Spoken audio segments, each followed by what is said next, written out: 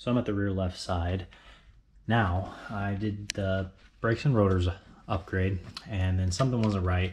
Every time I put the caliper on, brake rotor wouldn't move.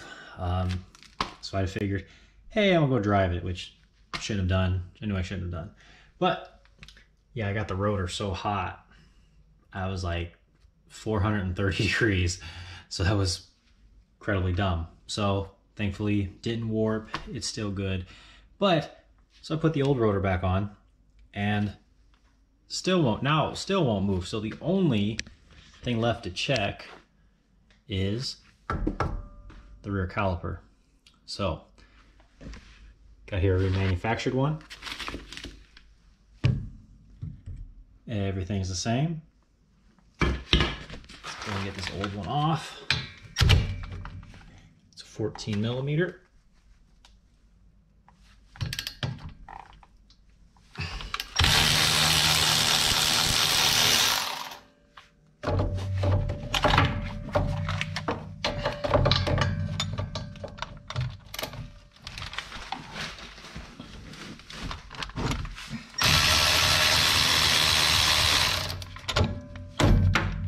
Like delicious burning rotor in here. It's it's a horrible, horrible smell. So I'm just gonna go back in the box. Off. Now since I have it, I'm just going to put the new caliper or this replacement on just to see if I can get the rotor to spin. Bear with me folks. Now, if you're just gonna go and replace it anyways, just go ahead and skip forward and ignore all this. I just want to see what the heck is going on. See if I'm crazy or not. Even with the caliper completely, the caliper piston completely pressed in, still not able to do it. So we'll just see if it's just the caliper. Maybe if I do the caliper, the caliper bracket,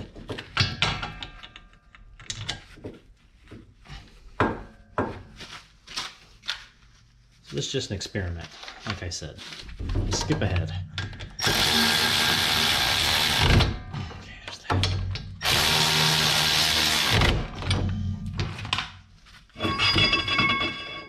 Bingo.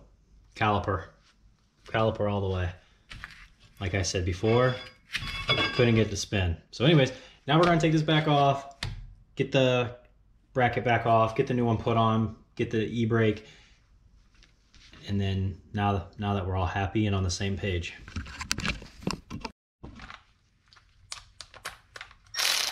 One of those very odd cars where the caliper is 14 millimeter but the caliper bracket bolts which are here and here are 13 millimeter yeah, I'm thinking a lot of this has to do with this e-brake because it's all like seized and rusted up. It might be it, honestly. Ah, but the the right way. Me, I would just disassemble this whole back end, pop it all off, and then. But you know what? I don't feel like wasting too much time. It's hot, so that's what I'm gonna do. All right.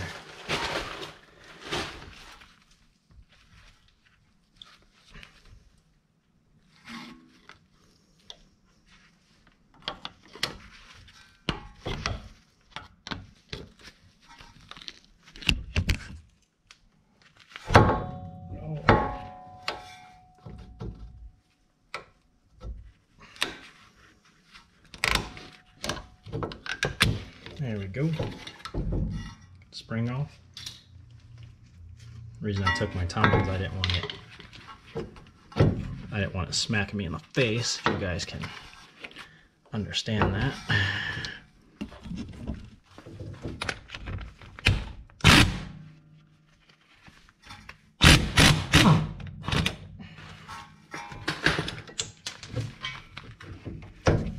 like to show you guys the right way to do this, but that was a 17 millimeter nut. But the problem is, I just don't want to sit here and keep keep dealing with this. It's all seized up. There, you got that main one out.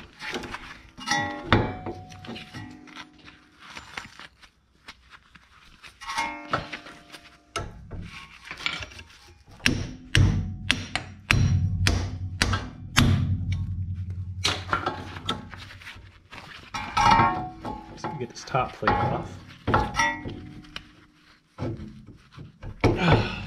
Still not yet. Getting better though.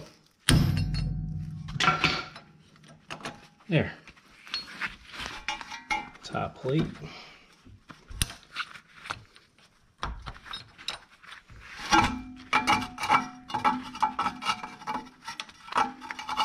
Now we got this part loose. There's like two little, wings. There we go. See what I mean? That's all you gotta do. That gets that out. Which again, I could have done that to begin with, but my problem is I'm having a hard time getting this out. See? That right there is the easy part. So these two little wings, hope hope it's in the camera view nicely. Now you just pinch these in and that comes out. But like I said though, my whole problem has been this. So maybe I could- Oh, there, got it, finally, Jesus.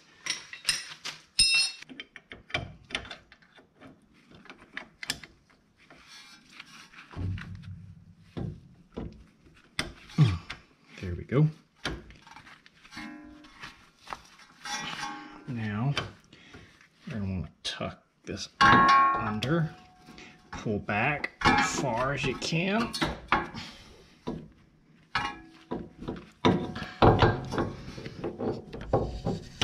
And then guide that in. And that's your e-brake setup right there. All right, so here we go. We're gonna be using a 11 millimeter. You should always crack these open.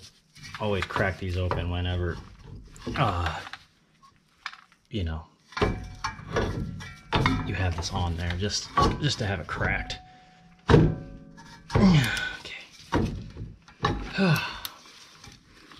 what a pain. Get yourself a bucket down there.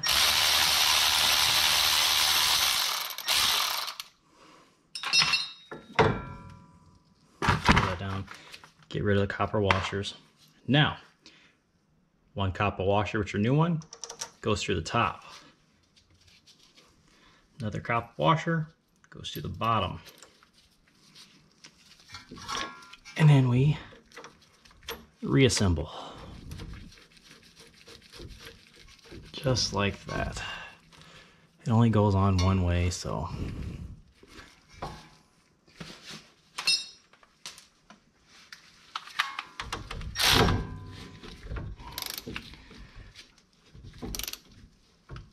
so that's it. That's how you replace the caliper. That's the that's the hardest parts. Give them a nice little tighten it down real tight, get a nice crunch, wipe it up to make sure there's no leaking. And then we need to install everything and then bleed the brakes out. Um, I'm not going to film the putting it all back together because I already have another video on my channel about putting back the rear brakes to this. But just in case you don't see it, rotor, 13, 14, put it back together and you're done. And just to show you, 100% it was the last caliper. Because this thing is smooth again. It's nice. That's how it's supposed to roll. All right. Um, well, all next all you gotta do is bleed it out. Get your bleeder tube. I need two people, so I gotta wait. Um, I don't like those vacuum. I've tried several different types of those, and each one, you know, I use it once, and then it seems like all the seals fail because next thing you know, it's leaking like a sieve.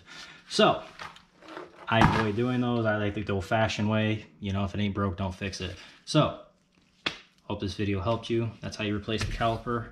Um, tons of good video videos on out there how to bleed it out without you hearing me yell down, up, down, up. You got it. Um, it's nice and pretty. Please hit that like button. Definitely hit subscribe. I'm getting close to my uh, 2,000 subscriber, and that's very exciting. So, thank you guys.